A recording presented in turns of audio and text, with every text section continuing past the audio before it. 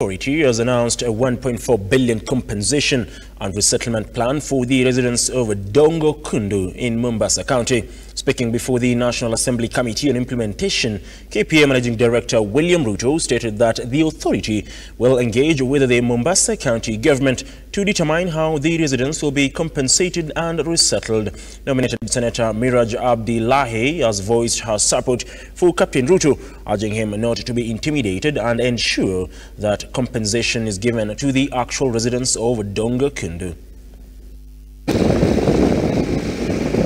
The resettlement of the PAPs, whether the funds are there and whether we are resettling. The funds are there. We have the money in our accounts, 1.4 billion that we are going to compensate them. And uh, next week, we will be engaging the leadership of uh, Mombasa County in terms of the compensation. The process, as my peers have said, is at the tail end now. We finalize with NLC. We are also finalizing with the Ministry of Land.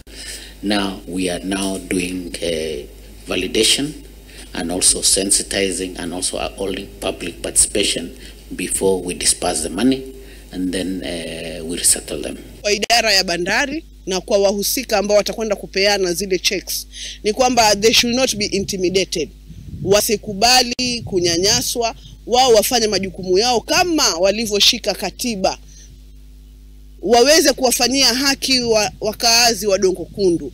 Kwa sababu tunawajua waliokuwa wakiishi pale na tunajua wale ambao walijaribu kuufanya ule mradi ni wao binafsi, wakajaribu kutia marafiki zao, familia zao. Sisi si mahasidi,